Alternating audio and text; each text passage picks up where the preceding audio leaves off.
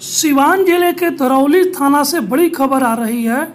एक ट्रक से 400 कार्टून अंग्रेज़ी शराब बरामद होने की सूचना मिल रही है। वहीं एक बोलोरो, दो बाइक के साथ दो धंधेबाज भी गिरफ़्तार हुए हैं। सिवान ज़िले के दरौली थाना क्षेत्र के दरौली रघुनाथपुर मुख्य मार्ग पर सोमवार की देर रात्रि लगभग दो बजे पुलिस द्वारा एक दस चक्का ट्रक से अंग्रेज़ी शराब की भारी मात्रा में बरामद किया गया है। शराब के साथ एक ट्रक, एक बोलोरो, दो बाइक और दो धंधेबाज भी गिरफ़्तार किए गए हैं।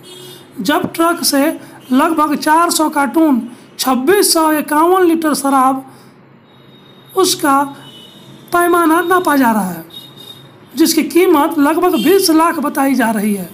अंग्रेज़ी शराब 200 सौ के बैंडेज कंपनी का है। दोनों धंधेबाज रघुनाथपुर थाना क्षेत्र के निकती कला गाँव का रंजन कुमार और दूसरा रघुनाथपुर थाना क्षेत्र के पजवार गाँव का अंकित कुमार यादव बताया जाता है।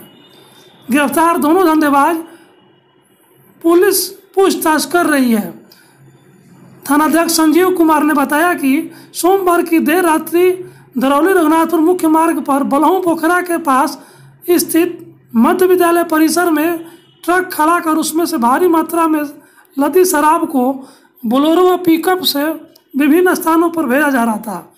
इसी दौरान कुछ ग्रामीण ट्रक से शराब उतारने की सूचना पुलिस को दिया।